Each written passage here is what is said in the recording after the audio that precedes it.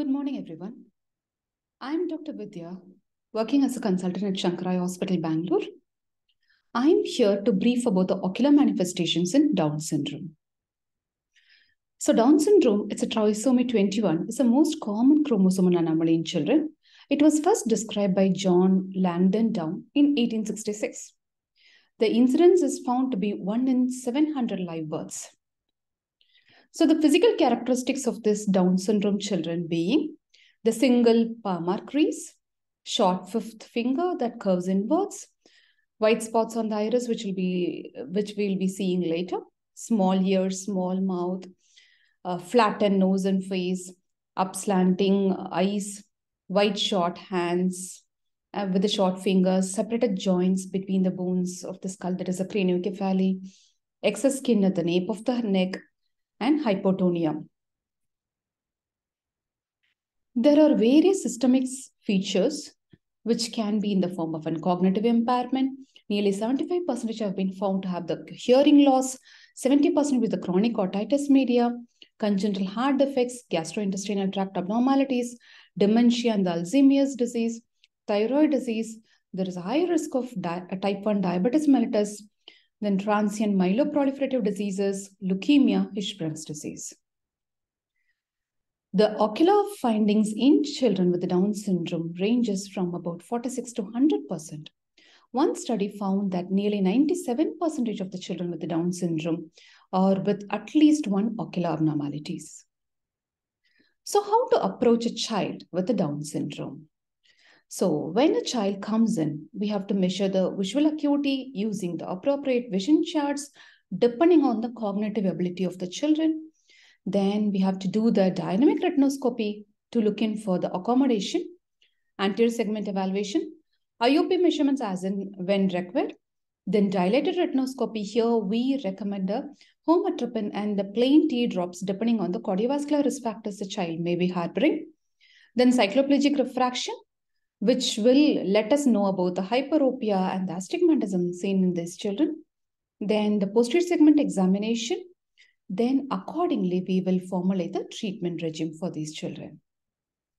We will see one by one now. So the refractive errors. First, the vision recording need to be done according to the vision charts, uh, according to the which which is depending on the cognitive ability of the child.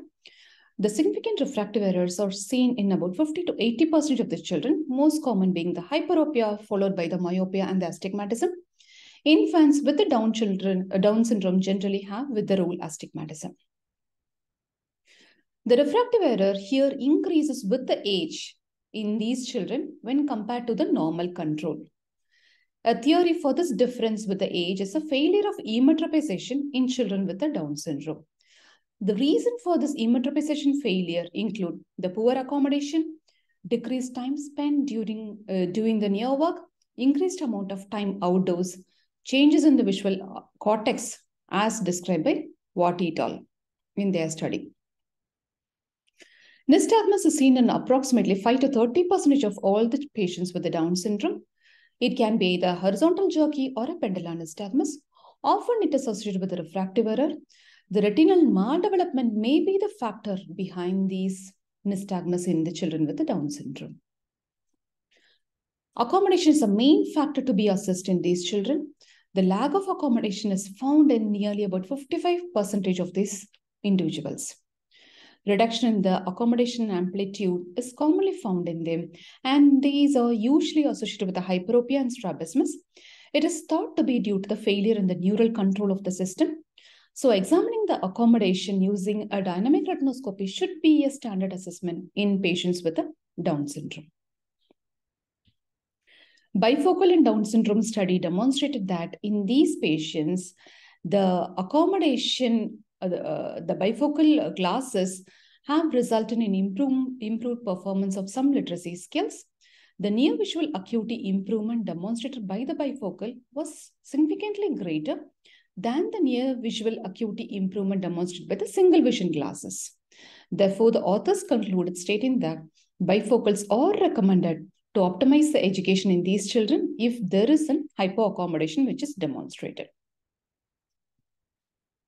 Strabismus is common to occur in these children, the common type being the esotropia followed by the exotropia and the vertical deviation. The strabismus in Down syndrome is typically acquired rather than congenital. Amblyopia prevalence being between 16.9% to 37%. The main causes being the strabismus, followed by the mixed etiology, followed by the anisometropia. The standard care for the amblyopia, uh, which are mainly the spectacles and the occlusion therapy, can be very challenging in these children. The eyelid abnormalities are common in children with the Down syndrome. The slanting palpebral fissures, prominent epicanthal fold, epiblepharon, congenital ectropion are all are common. Blepharitis is commonly reported in these children in approximately about 30 percentage.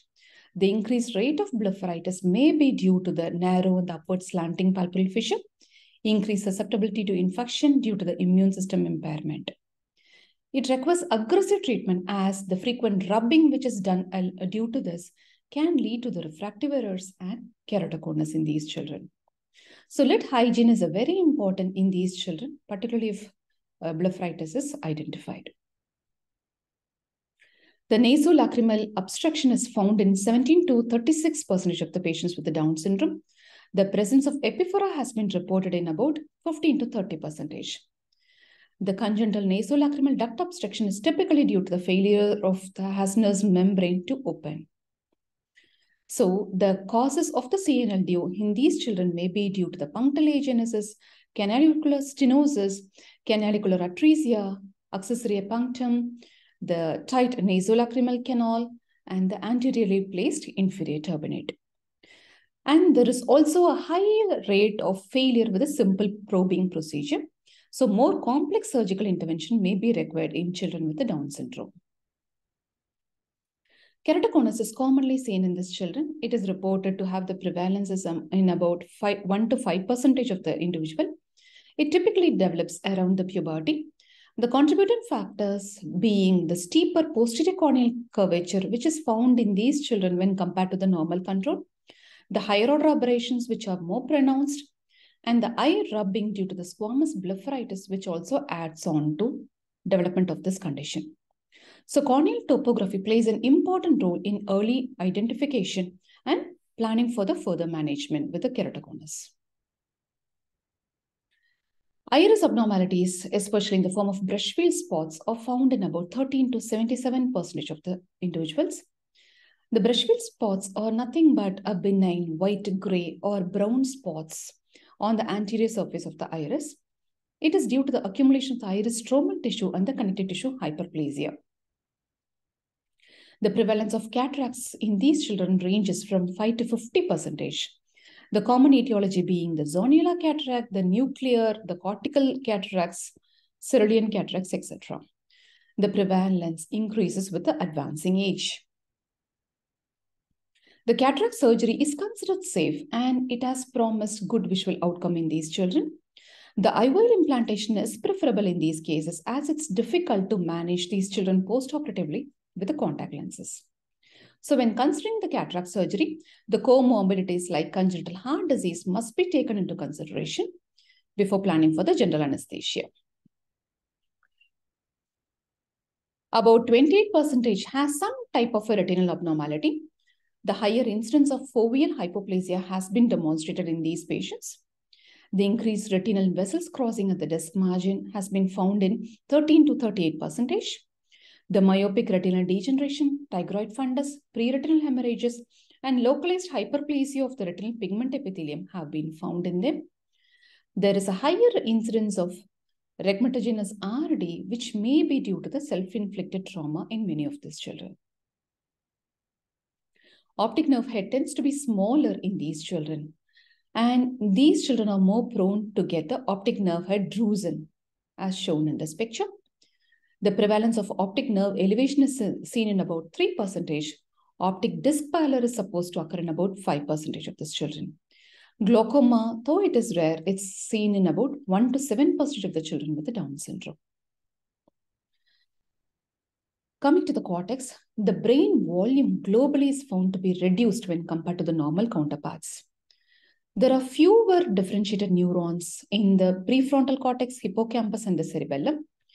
The higher visual pathways are poorly developed in these patients when compared to the normal controls. So, as such, the visual acuity in patients with the Down syndrome is reduced. The reduction might be due to the significant refractive error, the strabismus and the amblyopia, nystagmus, hypoaccommodation, cataract, and then the failure of the higher visual pathways. So points to consider when treating the children with a Down's syndrome being, first the evaluation for the strabismus, cataract, and the nystagmus should begin in the first six months of life the annual checkup until the age of five years is important for evaluating the refractive error, strabismus, and other ocular findings. And if any of these are found, then it has to be treated appropriately.